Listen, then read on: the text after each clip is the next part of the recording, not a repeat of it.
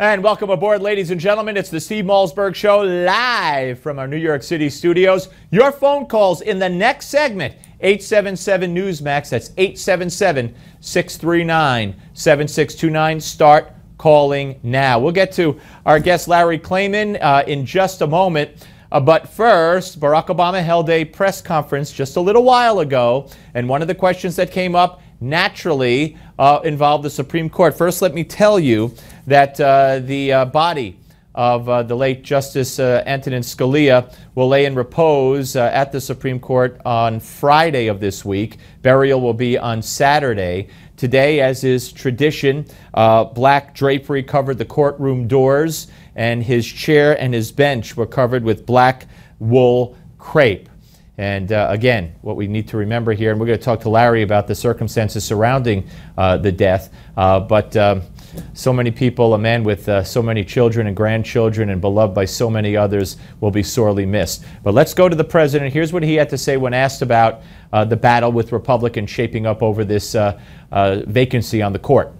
The Constitution is pretty clear about what is supposed to happen now when there is a vacancy on the Supreme Court, the President of the United States is to nominate someone. The Senate is to consider that nomination. And either they disapprove of that nominee or that nominee is elevated to the Supreme Court. Okay, well, um, he talks about the Constitution. I believe, and Larry could correct me when we get to him, there's nothing in the Constitution that says they have to do anything except advise and consent, and if they don't take it up and don't hold hearings, that's their prerogative. There's, there hasn't always been nine members of the Supreme Court. At one point, Roosevelt wanted 15. There used to be more, there used to be less. So this nine number is an arbitrary number. Now, um, he was asked this question because a lot of people have speculated that he's going to nominate somebody so moderate, so middle of the road, so fair that the Republicans are going to have to have to acquiesce. Watch. Following up on that, should we interpret your comments just now that you are likely to choose a moderate nominee?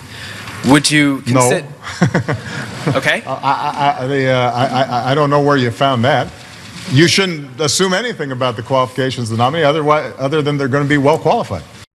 No, no. He's not going to choose a, a moderate. Now, here's a man who voted to filibuster Samuel Alito. Eventually voted no, of course. And when asked about that today, he had nothing to say about it. I'm surprised he was asked about it. Here's a man who said that uh, the, the, the Chief Justice Roberts, now Chief Justice, was qualified, but he couldn't bring himself to vote for him either. Now he demands of the Senate what he, as a senator, couldn't bring himself to do. All right, now before we get to Larry Klayman and talk about all this, Dick Morris will join us in a little while and watch some of what he's going to comment on.